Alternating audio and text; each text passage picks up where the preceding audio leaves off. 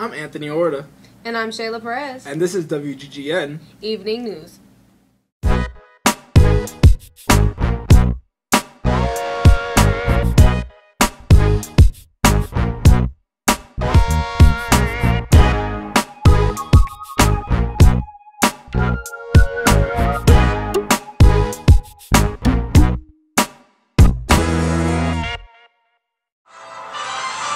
Breaking news.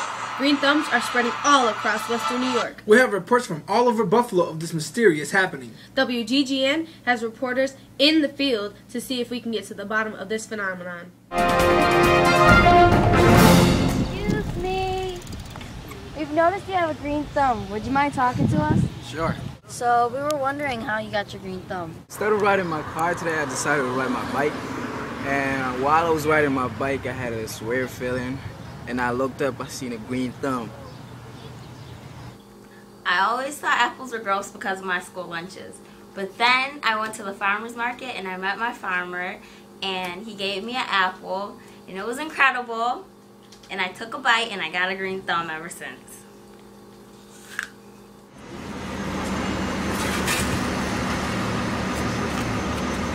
We just took the bus because it saved us on gas money. Not only did it save us on gas money, it's good for the environment.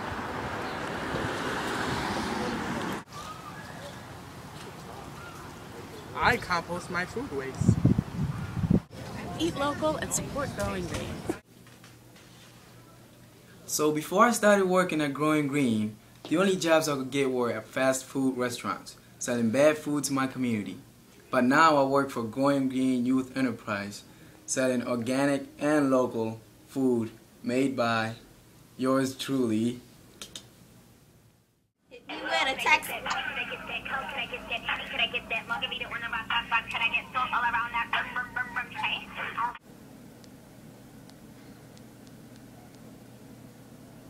One second, we have news coming in from the field. Well, now we have Destiny Sierra on location at Growing Greens Urban Farm.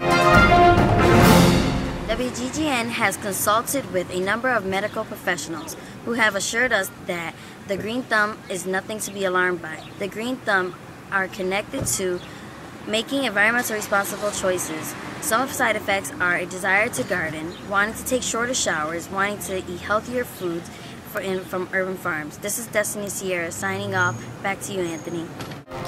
This has been the VGGN Evening News. I'm Anthony Orta. And I'm Shayla Perez. And we're signing off. What are you planning on doing this weekend? I'm thinking about gardening. How about you? I'm thinking about going to the farmer's market. Vegetables.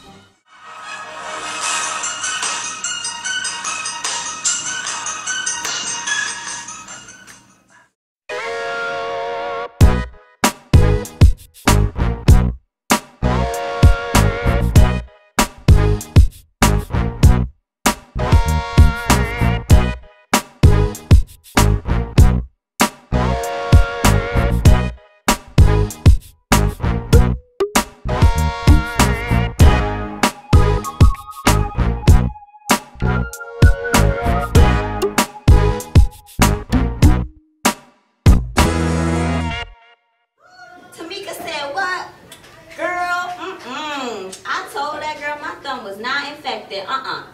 No, she didn't. I know she... Yes, I have an Ileana Rodriguez. I can take you right in here, The doctor ain't seen me. I've been here for 45 hours. Oh my goodness. I'm gonna call you back. So what brings you in today, Ileana?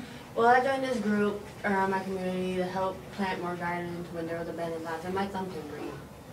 You know what? We've been seeing this a lot lately. Everything will be okay. I hope so.